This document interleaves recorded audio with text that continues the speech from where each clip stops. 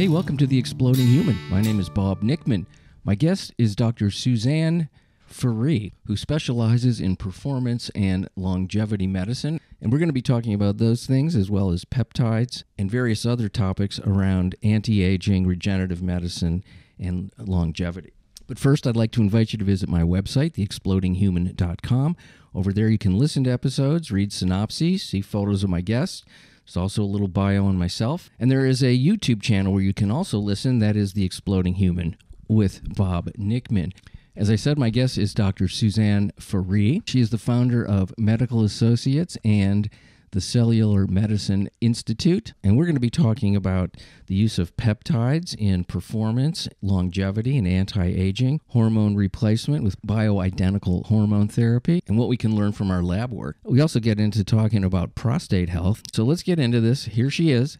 This is Dr. Suzanne Ferree. Good morning, Suzanne. I'm so glad you're here with me this morning. You're in Atlanta. I'm in where am I? I'm in Los Angeles. So I'm I'm happy to have you here.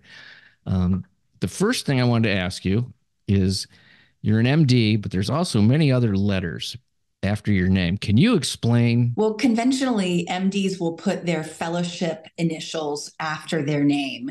So the um, uh, American Board of um, anti-aging medicine is ABAARM. Anti-aging and regenerative medicine is that first one, and that's just saying I'm board certified in anti-aging and regenerative medicine. And then not only that, but I went on to get the fellowship in anti-aging and regenerative medicine. So that's the FAARM, which is okay hilarious, but yeah. Well, it's you know, it's it means you studied some stuff. Okay. So yep. when you see the two A's, it means anti-aging, which I guess um, is something that uh, a lot of people are interested in. Now that I'm 70, I'm a little more interested than I was when I was 25. That's for sure. Of course. I think what most people want is if, however long they do live, they want to feel good and they want to feel healthy. They want to have a, a as what what people are calling it now, a health span. How long can I live and be healthy at the same time? Because who wants to have five, ten years of crap. You don't want that. Right. We talk about using a square lifespan. So as opposed to a bell shaped curve with a slow beginning and then a slow decline into death. We want the your life to be really healthy right up until the moment that you die. And then boom, you just take off. That's what our hopes are. That's my hope. Because I've seen mm-hmm. the opposite of that. And it's not fun to to watch somebody you love and care about have a slow decline where their their life, you know, I mean, my own uh, father used to say to me, uh, "I I'm not sick enough to die, and I'm not well enough to enjoy my life," and um, mm. because I feel trapped, you know, because I'm constantly frustrated. And um, how old was he when he passed? Well, pretty old, 94. Oh, that's pretty good. Yeah. So as my buddy says, you got good numbers. My mom was 93, my dad was 94. So you know, I do have some, uh, you know, probably some genetic predisposition to li- living a long life, but you know, who knows? Who knows? Mm-hmm. And today I feel pretty good. So, um, and obviously I do this podcast because that's one of the things that I uh, am the most interested in is how to lead an optimally healthy life. And you um, got involved with, well, I want to start with peptides because can you explain what peptides are? This is all new to me this year. I did not know about this until this year. It's it's become this thing that people are talking about. What are they? Are they specific to different things? How do you take them? And my the question I have never had answered is what does it cost? That's great. So peptides very simply are um, think about a chicken breast, and we think about chicken breast having protein and fat in it as its components. And those proteins that are made that are in chicken breast, for example, by convention, we say that a protein is anything that's over 150 amino acids in length. So, in order to have a protein, you have to string together a sequence of amino acids that is unique to that particular protein. By convention, if it's between 50 and 150 amino acids long, we call it a polypeptide. And by convention, under 50 amino acids, we call a peptide. Anything under four amino acids, we call a bioregulator peptide because it can also cross through the nucleus into the mitochondria and change the way that mitochondria function and the way the nucleus function. So that is uh, that is the conventional terminology that we use to help us make decisions about them. Uh, peptides have been around since the 1920s or were discovered in the 1920s. Um, you think about Pavlov's dog, he was actually not studying the um, Pavlovian response, he was studying the production of saliva and some digestive enzymes in dogs. And digestive enzymes are a peptide. So uh, these are created by your body in the original sense. Insulin is a peptide, for example. Growth hormone is a peptide. Uh, we make them all the time to do all kinds of jobs in our body. They um, cause things to happen that we want to happen. So the creation of energy for every cell requires multiple peptides to, to make that process occur. The creation of other peptides requires multiple peptides to make that occur. So these are happening in our body all the time, and we have been discovering them very slowly over time. The first one was secretin. Um, another famous one is oxytocin. You probably have heard of oxytocin that's the love hormone that's produced particularly when uh, during childbirth for the attachment of the mother and baby but also it's used its uh, its pharmaceutical version pitocin is used to help with women to contract the uterus. Um, and so that's the example that we have or one of many examples we have. Because pharmaceutical companies are not allowed to patent a natural substance they have to slightly modify it in order for it to be used in the body. Often, this does allow us to take advantage of the um, effects of the peptide in a greater to a greater extent. And um, this is one of the reasons. So, for example, the the newer uh, weight loss and diabetes peptides that are available, the GLP 1 analogs like semaglutide, are slightly modified from the original peptide that is created by your body in order to prevent it from being degraded by the enzyme that normally breaks it down and in order to allow it to bind to a carrier protein to be transported around the body. Okay, so that being said, what's Pepto Bismol? I'm kidding. um, yeah. I think ideally, probably, we want our bodies to uh, function uh, and our peptides to function properly without any sort of intervention, if we can do that. Yes. Uh, and but when it when that isn't the case, let's say. Uh, now I was talking to a guy who, um, right before the the interview, he said, "Oh, I just injected some peptides," and I'm like, "Why would you do that?" he didn't tell me why. I didn't really ask him that. I'm thinking, "Why did you do that?" Why do people do this? What what what are the most common uses that people would say? Oh, I, I need to go down this road because these things aren't working. And you know i'm sure there's things that are more common than other things. We know that aging begins around the age of 35 or 40 that if we talk about lifespan being sort of a pinnacle and then the pinnacle sort of declines past an age that age is somewhere between 35 and 40 if you think about professional athletes um, most of them their optimal their peak performance time occurs in that 25 to 30 range and then their performance declines. And this is really because the reproductive age is then and our our reproduction begins to decline after that point. So uh, if we're thinking um, uh, teleologically or or whatever that that this is a um, process that's occurring in order to preserve the species to c- continue to maintain uh, the ability of the species to to generate itself or regenerate itself.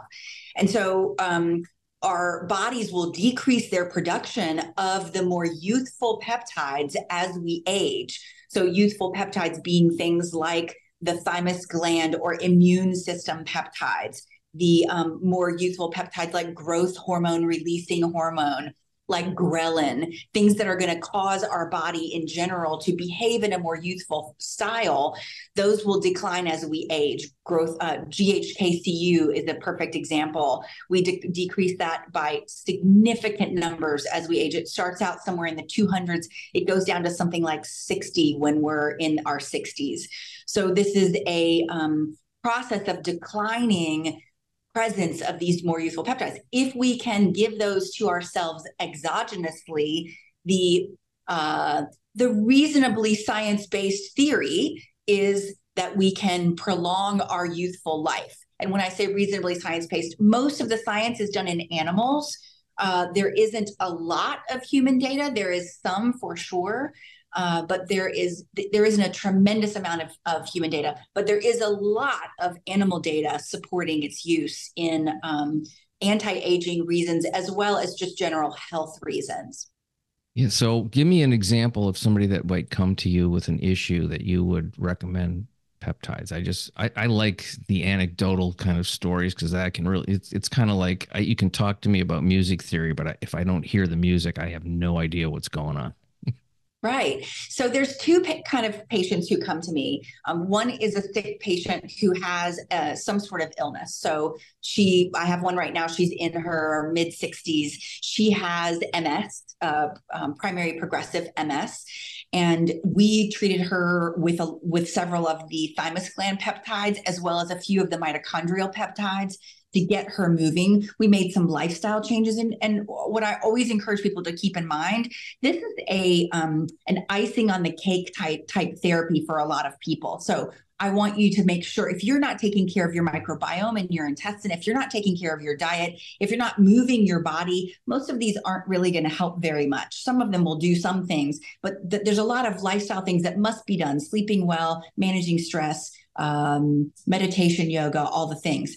And and so on top of that, we'll add things like these uh, peptides that work on the immune system, that work on the mitochondria, so that the mitochondria are telling the nucleus which proteins and peptides to be transcribing so that they can be used in the body to create this more youthful state as opposed to continuing to produce this age declining state.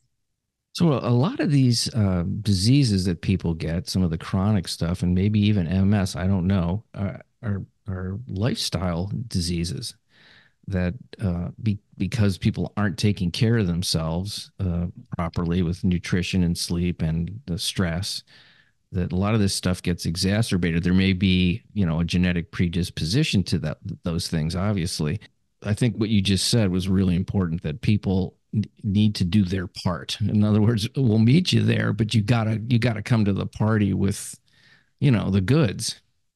Exactly, and there are patients that we will say, uh, it, it doesn't appear that you are aligned with our way of practicing medicine and our way of believing that people should be. And so when you're ready for that, please come back. But in the meantime, I want to give your spot to someone else. I only have 100 patients right now. So I mm want to be sure that those people are actively participating in their care. Uh, I have another patient who has a pretty significant kidney um, disease that is autoimmune related in a similar way. And we've treated him similarly with some autoimmune peptides, with or some immune peptides, with some mitochondrial peptides. Um, but also, we've given him several of the growth hormone related peptides to try to reverse this ship that has gone awry for him to improve his immune system overall. We know that the growth hormone is very involved in protecting the um, thymus gland from continued fat decline. Um, the thymus gland is replaced with fat as we age, and so this these growth hormone peptides can help with uh, reversing that that thymic fat fraction. The second kind of category of patient that we see commonly are uh, entrepreneurs, um, CEOs of corporations who are at the prime of their life and don't want it to stop. And they're um, competing in whatever their sport is of preference, their tennis or their whatever. And they want to be able to continue doing both their career and their sport at their optimal level, whatever that is for them. And so helping them to be able to recover faster is also part of our goal and keeping them cognitively sharp so that they can continue to do their career at their optimal level as well. So there's specific things that you're targeting with some patients, and then there's an overall kind of uh, health to make it um, so so people can function at an optimal level. Those are different, probably different treatments and different uh, uh, approaches. Exactly. Exactly. All right. Well, I um, have noticed, uh, being you know 70 years old, that there are certain things that um, are not the same. Of course. Um, I get injured in my sleep.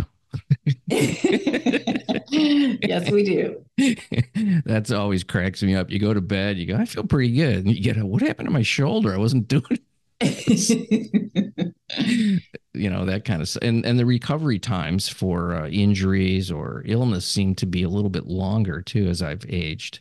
Not significantly but enough that I notice it where I'm like wow this bruise is like taking like a week and a half where it used to be like a day or a couple of days. You look at the number of stem cells that we have in our body when we're infants versus the number of stem cells we have in our bodies when we're 60 or 70. It's a dramatic difference between the early stage and the later stage. And the um, the ability to recover from injury is it is a real thing if, if you didn't know it already from your own personal experience. So the idea with treating with peptides is to restore the natural levels of recovery um, so that you and of your own stem cells so that you can recover faster from injury recover faster from whatever you've gone through. So we there are some repair peptides that we use in um, things like tendonitis and arthritis uh, in in those sort of inflammatory states. What's the delivery system? I know that injection is one of them. Is are there other delivery systems? So it depends on the peptide. Many of them are by injection. Some of them are available topically, and some of them by oral route of administration. The, the majority of the oral ones are the smaller peptides, the three, four amino acids. Uh, there are a few ways we can pair these peptides with other chemicals that will help us to bypass the stomach problem. There's a, um, a molecule called SNAC that improves the way that the peptides are absorbed in the stomach. It still requires much higher doses than would be required to take it by injection. So the expense is greater, not only for the SNAC, but also for the um, higher dose of peptide and they can be pricey, as you suggested. Um, the um, depending on the, the month, each peptide can cost around $250 to $500 per month. And we're usually talking about stacking two to four peptides at a time and then rotating them every three to four months, depending on what your program is. Yeah, so it's so you're looking at a thousand dollars a month for a lot of people. Um, here, exactly. Yeah, so that that's um, that's about what I spend at Starbucks. that would be a good lifestyle change. Yeah. I don't go there, but I just thought that would be something, you know. But when people here, let me say this yes, it's expensive, but if you, I think people that, and I, and I have never done this, and I'd be curious just to see how I felt, but, you know, it's priorities. I think people sometimes will not realize how much they're spending and how much time they're giving to things that don't help them at all or just you know frivolous uh, if you want to put a judgment on it which i just did. So the uh, well your $300 cable bill for example. Yeah what yes. is that getting you folks you don't need all that cable that's what we're that's what that's what we're here to talk about today is cable that's a good example though of mm-hmm. i gotta have 90,000 channels and uh, you know watch two you know it's uh that but you know and also uh, eating uh, out at restaurants and which actually isn't very healthy when you think about the way they prepare even you know put seed oils on things everywhere, which has become something that is uh, determined to be not very healthy, folks. That's what we that's what we know. This is this is mm-hmm. my sort of uh, take on restaurants. I, I don't uh, enjoy how I feel after I eat at a restaurant. I really don't. um, and uh, I don't even like to be waited on. It's kind of creepy to me too. Is that wrong? Mm. Is that a wrong thing to think? I mean, I know people no. like they have their jobs and you want to support people, but why am somebody bringing me my stuff? I mm-hmm. Okay. Who brings it to you at home? I what'd you say? Who brings it to you at home? Me. Yeah. Yeah. Me. Me and my wife, we do it together. Mm-hmm. I mean, if anybody brings it to me, if if it's not me, it's her, and vice versa. Mm-hmm. It's uh I'd like to say it's 50-50, but overall it is. It's 50-50. um okay, so now let's talk about something else that you mentioned, which is hormones because I know uh, I was looking at your bio and you were they were talking you were talking about uh, whoever wrote the bio bioidentical hormones as opposed to synthetic and who's who's a candidate for that? And how do we know when our hormones are balanced or not balanced? Like I'm not having hormonal issues as far as I know but I don't know what the numbers are of of that. Oh, is there a panel that checks that out? And how do you balance it? And is it worth the time and effort if it's not you know if it's less than optimal but not so awful that you're you're feeling bad Sure. There is there are a couple of reasons why it's important, even in men, uh, for us to figure out what your hormones are. So we order either a blood or a saliva or a urine, and there's just three different ways to look at it. Uh, levels of hormones, and there's a panel of hormones that we order on patients, and we will um, we will if you're if you're a man one of the things that's concerning we look at things like again how's your recovery? What's your percent body fat? Because if your percent body fat is fairly high i can guarantee you that your uh, hormones are out of balance. Uh, if your um, how's your sleep? What's your bone density especially over the age of 50 because hormones are very intricately involved in bone density and the ability to regenerate bone as we age. And so I would look at all of those factors as we're uh, thinking about hormones. Then um, the other thing that's concerning is a decline in estrogen will affect the way that you are able to retain long term memory. So uh, being able to hold memories from whatever you learn or, or read about today for the next several months or for whatever period of time that is affected significantly by your estrogen presence. So is everyone a candidate? I would say the answer is yes. Does everyone qualify? Are there things that would be concerning? I would say an active cancer would certainly be a disqualifier for um, for hormone replacement therapy. But then, other than that, we would need to just have a discussion about what your needs are, what your goals are, and what your symptoms are, and then um, what your history is, and if we need to be cautious in light of there are more expansive panels we can do in light of uh, people's family history or personal history that can be helpful. Most of the time, if we start out with some sort of significant detoxification, most patients are able to, and that can, that's, can be a, a wide variety of things. It can be dietary alone, it can be all kinds of things.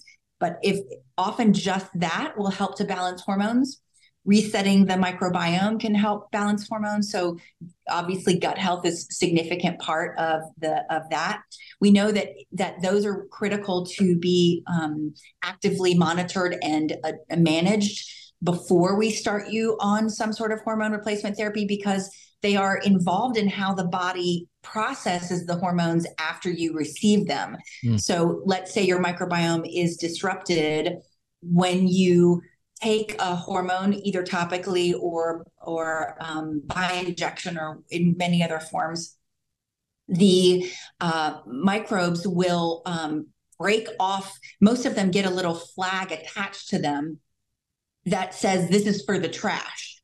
And so they go out through the stool. Well, the microbiome, if it's not working properly or if it's out of out of balance, then it's going to cleave off that flag and those hormones get recycled. So the levels just keep going up and up and up as we are unable to release them because of the imbalance in the microbiome. So all of that needs to be addressed first, and then we add on hormones second. Again, lifestyle is is really the the start for all of it. For all of it. Obviously, different people process things differently. Uh, genetically, mm-hmm. They're they're just different. You know, some people. I I did a, a genetic uh, profile uh, mm. and uh, it was very interesting stuff, you know, from mood and behavior, even through, you know, cardiovascular and um, methylation and, and what gene I had, uh, what version of the gene I have. So I, I, have a whole, I have my history or my genetic uh, readout. And some of the things that came up were really interesting, particularly in mood and behavior. Like, oh, I do have this tendency to be this way and so you know mm-hmm. free will i'm not so sure you know there's there's a biological you know i sort of look at it like um, there's only so far you can move away from your biology your genetics uh, and you know you can you can alter things and, and make them as optimal as possible for instance um, uh, the ability to build uh, muscle mass is not something that i'm super predisposed to do well not that i'm I have a terrible version of it or anything, but it's not optimal. Let's put it that way. And I always mm-hmm. wonder why is it that I can't do that? And I don't even try to do it that hard, but um, and I know it's important as I age to to to uh, to do that. But I'm like, um, is there a way to do that? Is there a way to up that and to have that work better? Does peptides? Does um, hormone replacement? Does um, stem cell, which I want to get into too a little bit of, because I know that's part of the whole thing that's going on now too, is some overall stem cell. I, am talking a lot of stuff here. Grab onto something I said. so so yes so the most important thing about um, muscle building is consistency that's the hardest part is consistency you know getting to the gym being consistent you know, I go four days a week for an hour and a half to two hours every time. And I've been doing that for five years. That's how I built muscle. It's not by any of the peptides I use, it's not by any of the other things I do, it's consistency. So it's funny to be in the gym and overhear other people talking saying, "Hey, how when when am I going to start to see results? How am I going to start to see?" And it it's it's a process. And if and often those are people who are not coming consistently. They'll have an excuse why they can't come on tuesday and oh it's a holiday so i'm not coming that day. You know uh, obviously i'm competitive. I'm, I'm in um, competition so i'm doing this for a reason. There's a there's a uh, purpose in being so consistent. But the the outcome of the consistency is the ability to build muscle over my lifetime and hopefully to be able to maintain my muscle over my lifetime um, so, number one, consistency. Um, number two, you have to eat. And this is a big problem for women because we have a tendency to say, oh, I don't want to eat too much because I'll get too fat. And um, if you are doing resistance training, it's much more difficult for you to um, to put on body fat. It's not impossible, obviously. And women over 40, I'm highly encouraging them to be very involved in resistance exercise. But you have to eat at least a minimum amount of calories. And there are ways we can figure out what that minimum is for you in order to maintain muscle mass. Otherwise, you're catabolic or burning through muscle in order to create energy because the body will use sugar, fat, or protein to make energy and if it's if you aren't taking in enough calories you're going to get that catabolic or body breakdown including bone um, in your life so you have to be taking in adequate calories the um, third thing i would say is working on recovery so I only do four days a week because I need those days of recovery. I didn't need this many days of recovery when I was 20, but I need them now. Mm-hmm. And um, training as hard as I am, I need to make sure that I'm persisting with my rest days and um, sleeping at night, getting adequate sleep at night. So, all of that is part of muscle building. And then, what I'm the composition of what I'm eating. So, making sure I'm getting adequate protein. And this is one of the biggest concerns for people over 40 is they tend to not eat as much protein. You know, chicken breast has about 30 grams of protein. For my um, exercise and my plan, I need to be eating a, around 120 grams of protein a day. So that's like four chicken breasts. And so that's quite a bit of volume of food. So I do some supplements um, in order to get to that 120 number, but uh, it, making sure you're taking in adequate nutrients and the correct macros in those nutrients around your workouts is really important if muscle building is your goal um, hydration. There's a few you know creatine is one of the things that we know has some really good research on its muscle building ability. Certainly testosterone in adequate doses adequate amounts either in your in your own body or exogenous testosterone as we age in order to um, reach a normal level of testosterone. And then um, being able to because it is anabolic or or body building. So you will be able to you won't be able to build muscle if your testosterone is too low. And then your uh, we add things on for muscle recovery things like um, the growth hormones secretagogues that are going to improve your recovery time and improve your ability to um, to sustain injury and quickly bounce back it seems uh, overwhelming when you hear it all at once. But I think as you move through that kind of thing, you kind of figure out what works for you. I'm sure you, you know, you have to be a little bit of a test tube for yourself. I think, you know, what works, that doesn't work, that does work. And I've tried most of them on myself. So, yeah, I've tried a bunch of stuff. Some of it works, some of it doesn't. Sounds like you are very um, active in your health personally as well as helping other people it, it does take a lot of mindfulness and time to to do this stuff. Um, I always wonder how much do I really want to do, uh, and and how much you know am I like this is good enough. Some days I'm like, eh. Another reason not to work out is I don't feel like it. That's a really good reason. it's another one. Mm-hmm. Those weights are heavy. I do yoga. That's my my big one, and I'm very it. very consistent with that. Yeah. I, I, just started incorporating some uh, other strength training, but I don't like it. I don't like it, but I do. I'm doing it anyway until I like it. I'm going to do it until I like it. we say in my office um, because I have uh, other uh, bodybuilders in the office or muscle builders in the office, and um, we say, "I love it, I love it, I love it." When we're eating, and it's like the last bite of chicken breast or turkey sandwich or whatever it is, you're like, I can barely eat one more bite. You're like, I love it, I love it, I love it. and get the last bite because you got to get, you know, you have to count those macros. You've got to get that last bite in, even if you don't feel like it. Yeah, I guess so. I mean, there's things, you know, there's things that um, work really well that aren't always fun. Let's put it that way. Do you feel better when you get done with the workout? Yes. That's okay. what that's why I go back. That's me too. Yeah. I can think of a thousand reasons why I shouldn't go. Yeah. And no, then I, I do say, feel you, better. You have to go. You'll feel so much better if you just go. Yeah. I, well, I have that with yoga too. There's days I just don't feel like going um, to the mm-hmm. to the place, and uh, I don't want to do it at home because I'm not disciplined enough to pull the routines off. And, and I do like a little bit of uh, the energy of having multiple people in in a room. I, I like that. I like the human connection, and I like the being pushed a little bit.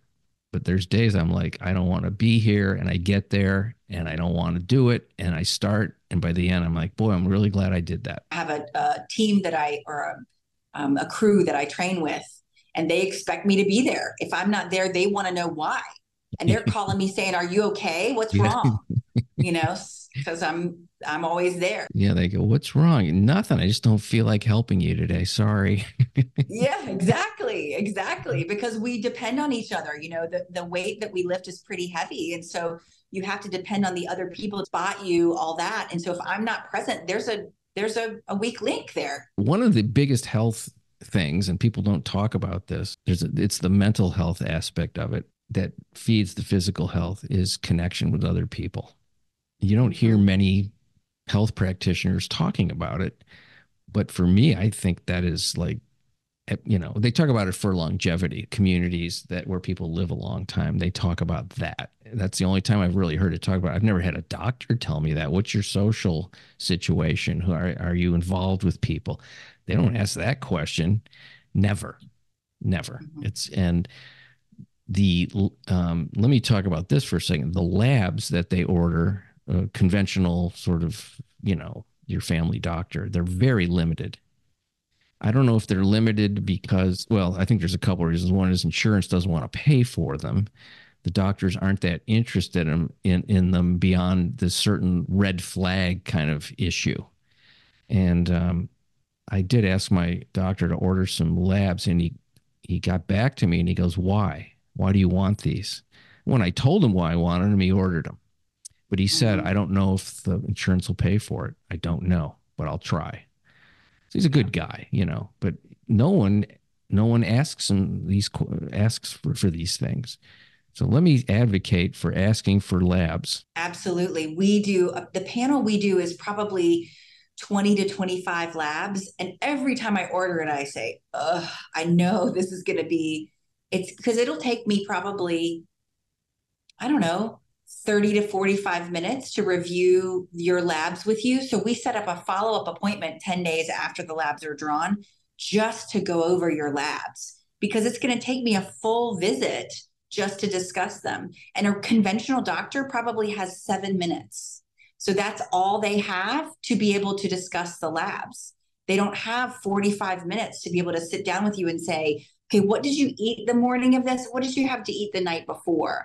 Okay. Is there a stressor happening? Did your mom die? Did you just have COVID? What's what's going on in your life that your cortisol might be high or your DHEA might be low or your what's happening um, that your lymphocytes are low? Did you just get a vaccine recently?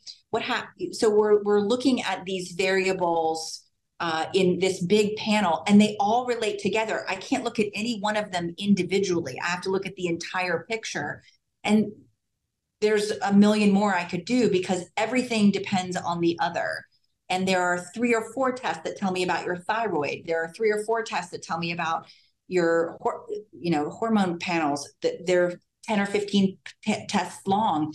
The reason for that is I want to look at every single aspect of your health if I can.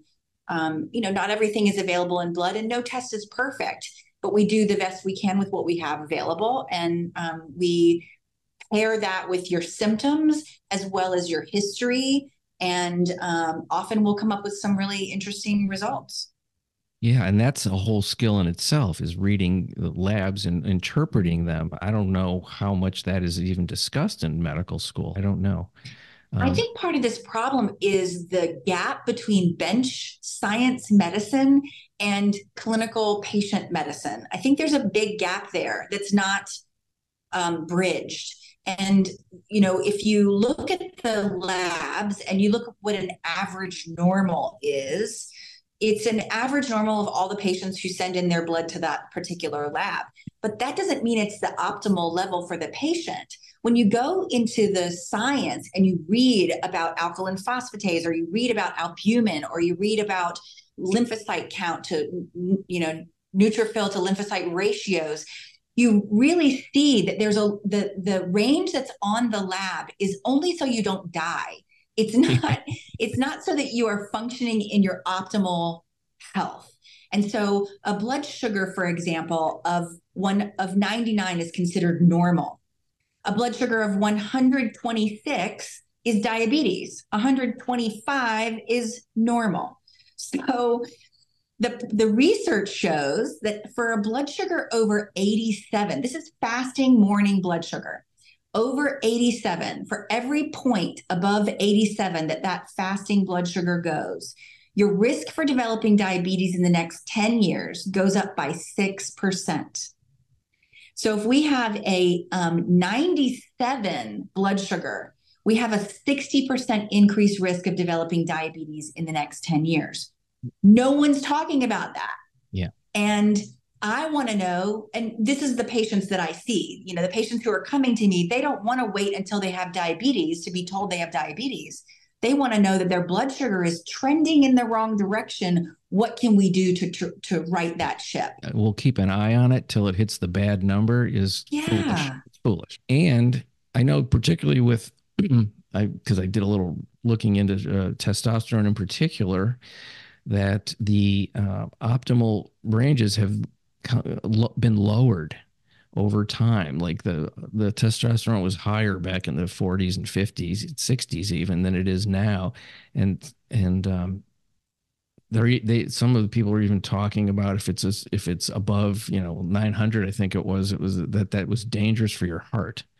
Just mm. stuff that's not really from what I've everything I've read not true and not based in science. You're exactly right, Bob. It's it's um, there's so much evidence that that high, that a normal testosterone level will improve uh, cardiovascular risk. I have two things I want to ask you about. What you know, people talk about cell food. What is that, and how do I have that working for me the, the best that I can? I know food is very important, of course. So the it's interesting. Um, our cells' ability to make and use energy as we age declines. And so the cell has a choice and it's somewhat based on what's available. It's kind of like you're hungry, you go to the kitchen, you look in the refrigerator, you can pick a bag of Twizzlers, you can pick uh, an avocado, or you can pick a chicken breast. And so the cell has the same options.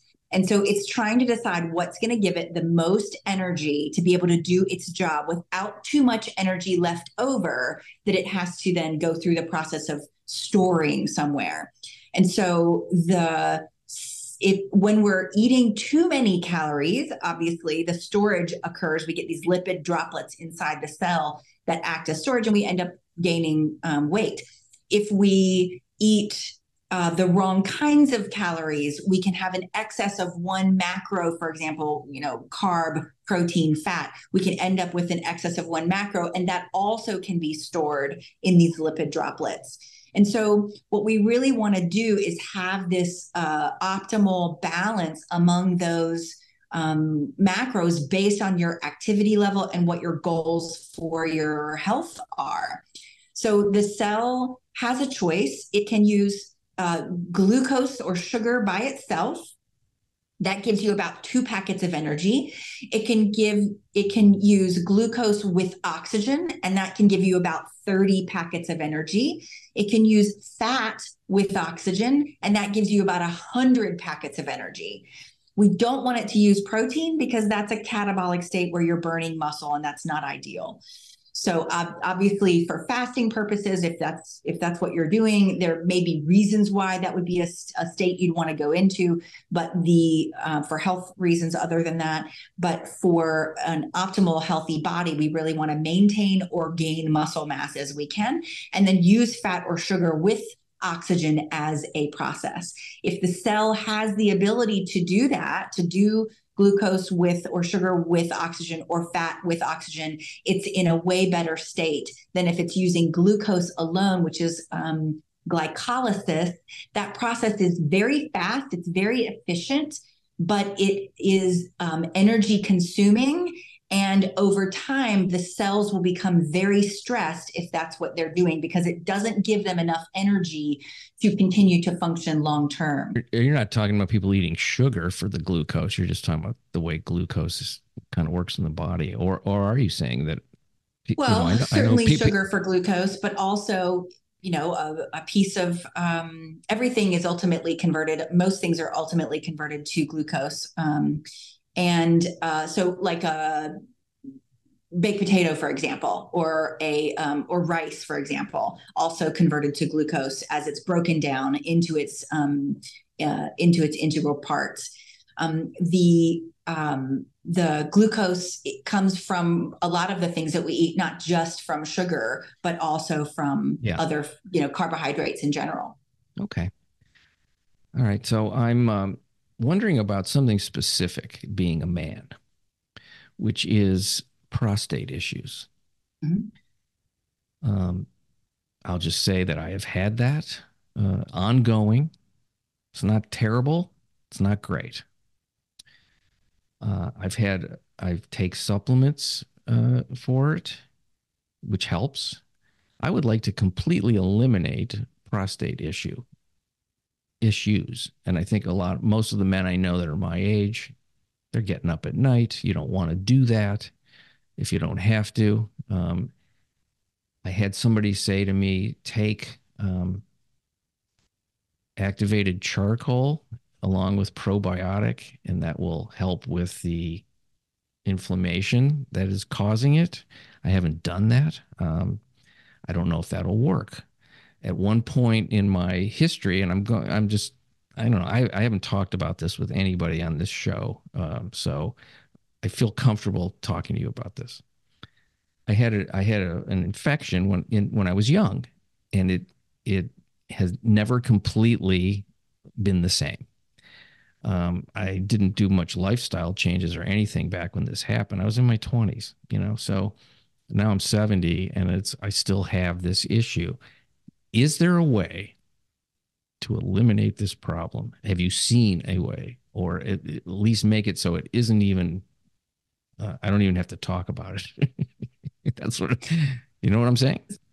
So there's a couple of things. Um, realize that benign prostatic hypertrophy is a sympathetic dominant state. So the sympathetic nervous system is part of the autonomic nervous system. There's the fight or flight response, that's sympathetic. There's the parasympathetic, which is the rest and relax response. Benign prostatic hypertrophy is triggered by sympathetic dominance of the nerves leading to the prostate. So, one of the things we do in our office is a procedure called neural therapy, where we do an infiltration of the inferior hypogastric nerve with a um, chemical called procaine, which is the original local anesthetic. After they figured out that cocaine was addictive, they changed the molecule to be procaine. And um, we use that because of its cell membrane resetting properties and uh, that is the that's what we do for our patients in our office that's one of the things we do and we get really great results um, when we when we see that. The second thing i do in those patients is a in my patients is a topical estriol cream.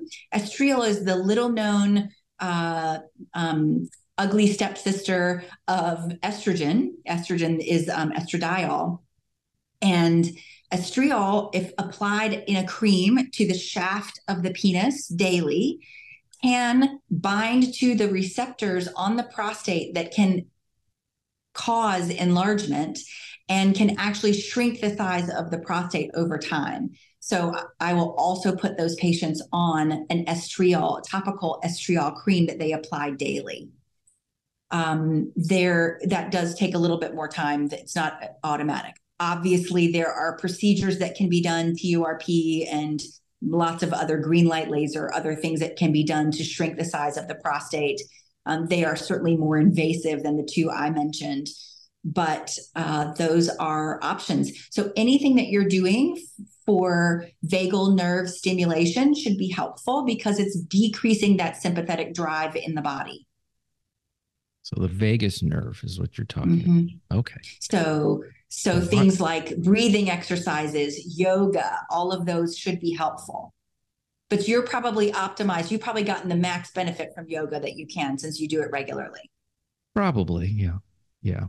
Um, so how come no one's told me this, any of this? No one you go to a urologist, they don't talk about this stuff. They go take the take, you know, and I, which I really haven't done uh, in decades because they just gave me some sort of a pill to uh, deal with infection.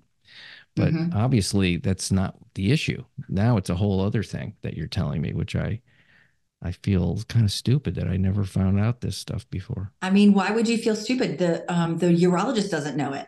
Yeah, I feel stupid because I like it. I like to feel stupid. it's just a word I use. Like. I, well, yeah, I know. Isn't that amazing? Now here's here's a professional person, and uh, they went through college. They're smart. They pass all the tests. They do this every day, and yet, you know, they they haven't learned this. And obviously, you weren't taught a lot of this stuff in conventional medical school.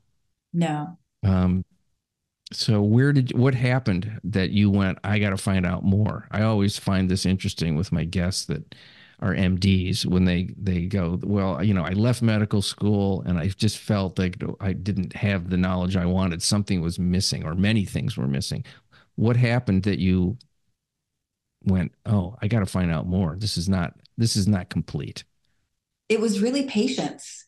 You know they were getting sick they were sick that I, I knew they were sick. They weren't making it up. And the conventional things I was doing weren't showing the problem and they weren't getting better. And so just trying to find what's another tool, what's another thing, how can I help them to get better? Because I really want to um, make sure I want to provide whatever things facilitate. That's what I consider myself as a facilitator.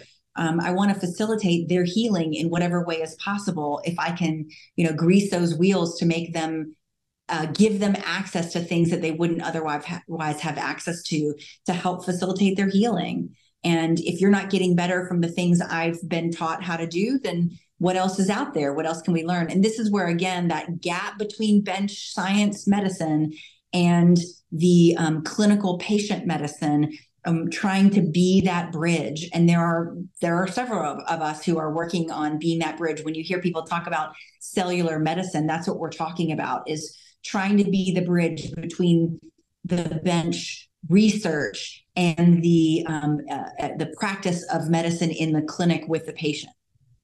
Okay, well, see, this makes complete sense to me. Did you go to further education in other arenas?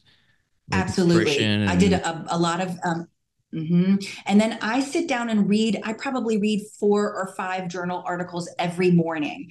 That's there's absolutely no way I'm going to keep up with the ridiculous volume of, of research that's out there. Oh, it's unbelievable. That's my best attempt is to to uh, try to read four or five journal articles every day. And they're usually on the subjects that I'm interested in because of the patients that I've seen in the last week.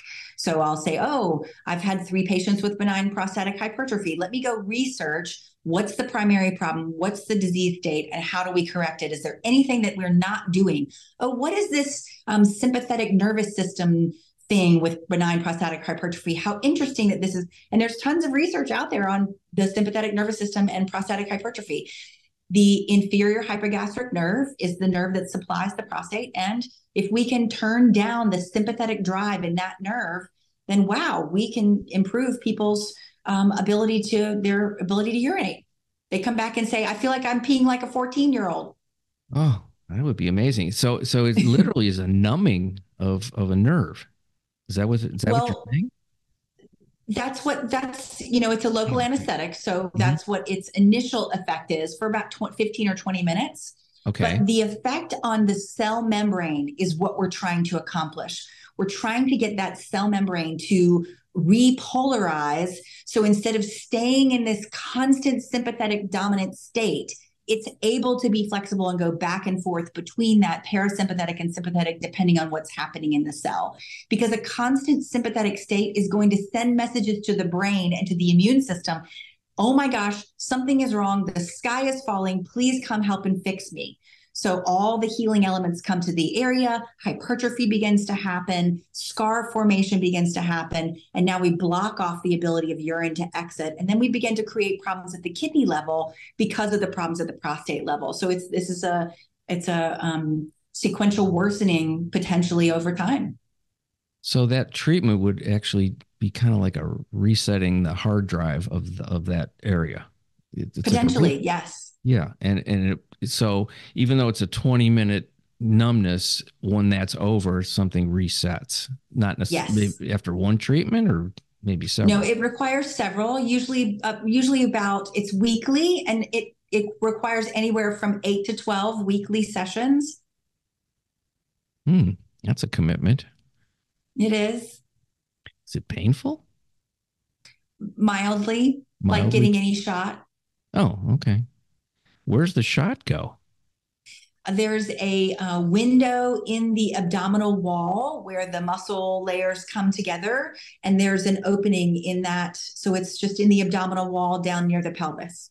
Oh, okay. I thought maybe it was coming in the back door, so that would not be as much fun. No, no.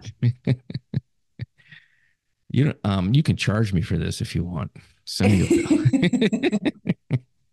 Where do you find somebody that does this? I mean, I guess I'd have to go uh, on, online, or what do I? You know, I don't think my own primary care doctor knows about this. There are several, and uh, there are several doctors who do it. I can look and see if I can find someone who does it in your area. The National Association of Neurotherapists mm-hmm. is um, out there, N A A N T and um, they would have a list of providers who do oh, okay. neur- neural therapy is what that's called oh. and so that's an option mm-hmm. wow okay look at me finding stuff out i could i could talk to you for like nine hours but we're not going to do that are we if folks want to get a hold of you is there anything that you would like to promote in terms of your website or i don't know mm-hmm. if you've uh, I, I didn't thoroughly. Well, I did read what I was sent, but I might I might have missed something. So let's a, let's promote um, you. Let's book. promote you and your work. Yes, I have a new book out called Counterclockwise. Oh it's yes, that's what I Amazon. forgot. Okay, so I need treatment for yes. memory because I forgot the counterclockwise. But okay, go it's ahead. Very exciting. I, I got my first five star review this week, so I'm really excited about that. I know, yay! Yeah, that's huge. So uh, that is out this week. It's been, um, I started writing a year ago, January. So it's been a long journey. My publisher went out of business mid book. So that was a big challenge. Yeah. So here we are, and it's done and it's on the racks. So it's very exciting. Um, if you need to get hold of me, I'm uh, on Instagram at, at Dr. S Ferree, D R S F E R R E E and the book is on Amazon. It's called Counterclockwise. Well, I'm so happy to have uh, to have met you. What a wonderful talk! I think if I would love to have you back sometime because there's so much that I can learn, and my my audience um, they love these topics because we're pushing toward the future and improving um, with knowledge what we can do to improve our health and uh, our our health and optimal optimal living, vibrant health. Let's go with vibrant. I love that. That's, That's great. it's my favorite word today. Mm-hmm. Today. not every day. So I'm trying to end this thing, but I'm not sure how to do it. Maybe you can help me. we'll Thank say, you, Bob. It's, it's been a pleasure. There you go. It's been a pleasure for me too. Thank you so much for for being here and best of luck on the book. And uh, folks, get the book. You're going to find out how to turn back the clock. You will. You'll do it. You'll read the book and you'll go, oh, I can do this. Practical, actionable things in there. Yes. Yes. Yes. I, I can tell by talking to you that that's the case. Yeah. Actionable. No, that's my that's my new favorite word. Things you can do. Vibrant, okay. actionable. Vibrant and actionable living. Okay. I don't know if I'm going to even keep this in during the edit, but it's, you know, we like to ramble at the end so we can go back into our day as just like regular folks instead of, uh, you know, official uh, podcast people. Thank you, Suzanne. It's my pleasure. Thank you so much, Bob. Hi, this is Dr. S. If you enjoyed this video, please like and subscribe to my channel.